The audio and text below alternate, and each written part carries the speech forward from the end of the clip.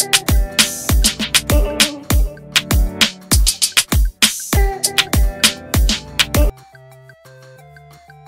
นิพักเล็งช่วยมอ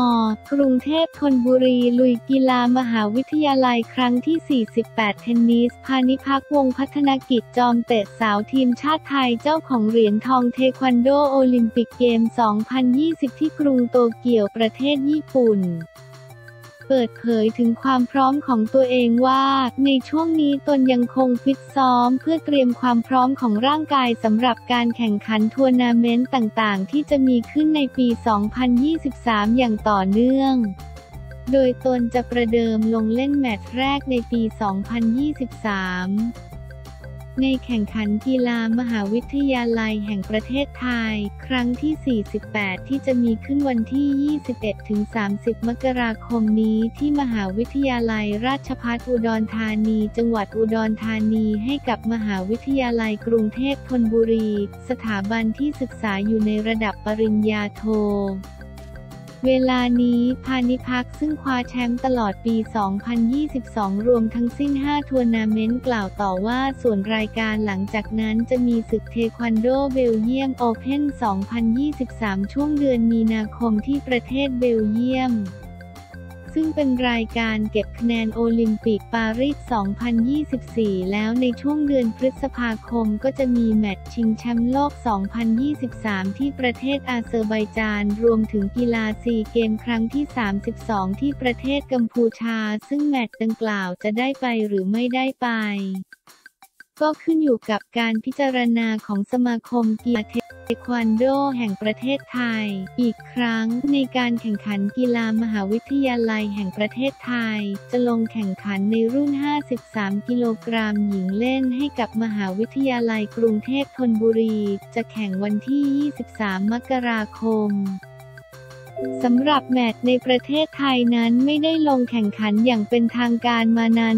2-3 ปีแล้ว กลับมาลงแข่งรอบนี้ก็เชื่อว่าจะน่าเป็นอีกทัวร์นาเมนต์ที่สนุกและบรรยากาศก็คงจะอบอุ่นและอุ่นใจมากกว่าไปแข่งต่างแดน เพราะนี่เป็นรายการแข่งขันในบ้าน ซึ่งก็จะแตกต่างตรงที่เราน่าจะได้เห็นกองเชียร์ข้างสนามให้กำลังใจอยู่ตลอดเวลา พาณิภัคกล่าว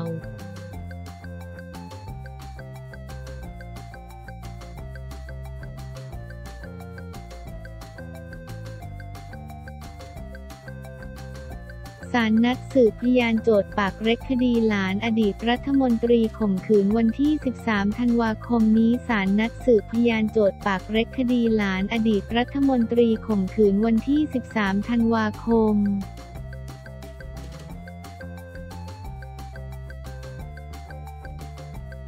ต่อเนื่องจนถึงวันที่ 15 ธันวาคมนี้กำชับให้เตรียมพยานให้พร้อมก่อนนัดฟังคำพิพากษาต่อไปเมื่อวันที่ 17 มกราคม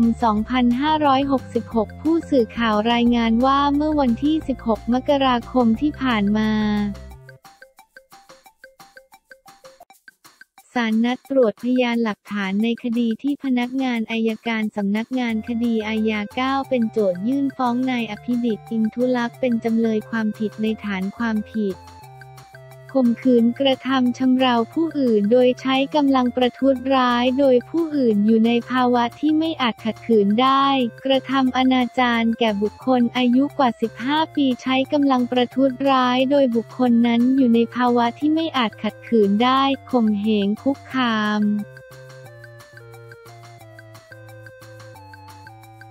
โดยกระทำอันมีลักษณะสอดที่จะล่วงเกินทางเพศตามประมวลกฎหมายอาญามาตรา 276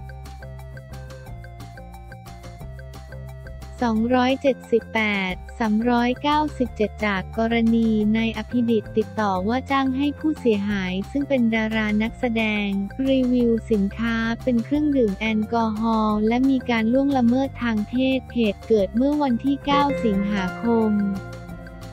ห้องพักที่รีสอร์ทแห่งหนึ่งย่านลาดพร้าว โดยนัดพร้อมประชุมคดีสอบคำให้การ ตรวจพยานหลักฐานและกำหนดวันนัดสืบพยานวันนี้โจทย์จำเลยทนายจำเลยสี่ผู้เสียหายและทนายความผู้เสียหายมาศาล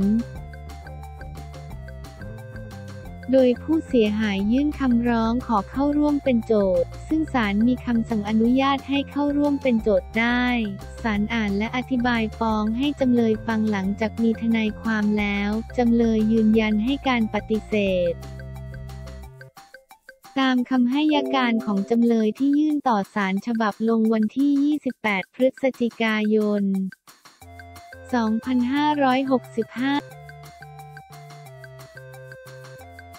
เสียหายยินยอมไม่ได้เกิดจากการข่มขืนกระทำชำเราใช้กำลังประทุษร้ายแต่อย่างใดารจึงบันทึกไว้เป็นแนวทางการต่อสู้คดีของจำเลย โจทย์แถลงว่าขออ้างส่งพยานเอกสารรวม 24 ฉบับทนายโจทย์ร่วมแถลงขออ้างส่งพยานเอกสารในวันนี้ 7 ฉบับทนายจำเลยแถลงว่าไม่มีพยานเอกสารส่งต่อศาลในวันนี้ แต่ขอโอกาสส่งพยานเอกสารต่อศาลภายใน 30 วันนับแต่วันนี้ ซึ่งศาลสอบถามโจทย์แล้วแถลงไม่ค้าน แต่โจทย์ร่วมแถลงคัดค้านว่าหากให้เวลาจำเลยส่งพยานเอกสารฝ่ายจำเลยจะไปทำพยานเอกสารเท็จมาส่งเป็นพยานต่อศาล ศาลพิเคราะห์แล้วเห็นว่าสมควรให้โอกาสฝ่ายจำเลยได้ต่อสู้คดีได้อย่างเต็มที่ตามสิทธิของจำเลย จึงอนุญาตให้จำเลยส่งพยานเอกสารต่อศาลได้ภายใน 30 วันนับแต่วันนี้หากไม่ส่งถือว่าไม่ติดใจโจทย์แถลงว่า ปิดใจสืบพยานบุคคลอีกเพียง 9 ปากอันดับที่ 1 เป็นผู้เสียหาย อันดับ 2 เป็นผู้ที่ไปติดตามผู้เสียหายในที่เกิดเหตุในวันเกิดเหตุ อันดับ 3 เป็นผู้ที่สนทนาทางโปรแกรมไลน์กับผู้เสียหายเกี่ยวกับจำเลย อันดับ 4 และ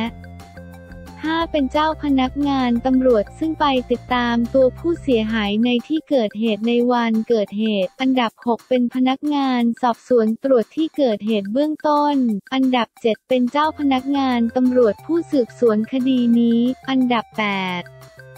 เป็นแพทย์ผู้ตรวจร่างกายผู้เสียหายซึ่งมีประเด็นเกี่ยวกับสารหรือยาที่ใช้มอมเมาผู้เสียหาย และอันดับ 9 เป็นพนักงานสอบสวนขอใช้เวลาสองนัดครึ่งสอบทนายโจทย์ร่วมแถลงไม่ประสงค์จะสืบพยานบุคคลเพิ่มเติม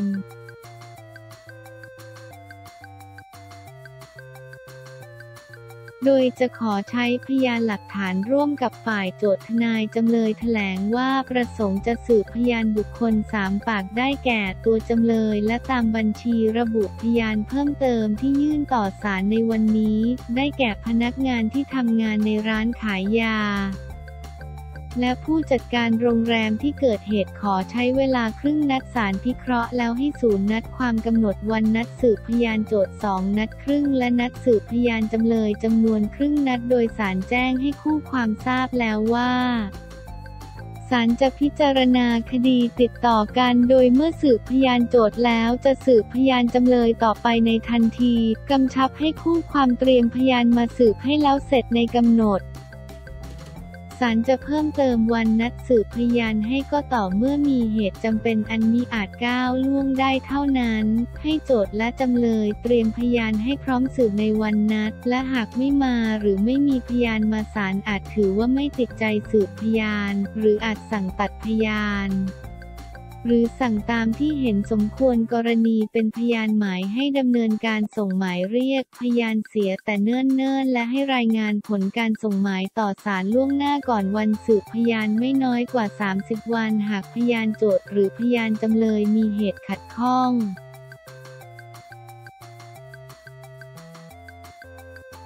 มิสามารถมาสืบตามวันเวลานัดให้คู่ความแถลงสารก่อนวันนัดหรือวันสืบพยานไม่น้อยกว่าสองเดือนมิฉะนั้นถือว่าคู่ความแต่ละฝ่ายพร้อมนำพยาน เข้าสืบตามกำหนดนัดโดยกำหนดวันนัดสืบพยานโจทย์ปากเร็กวันที่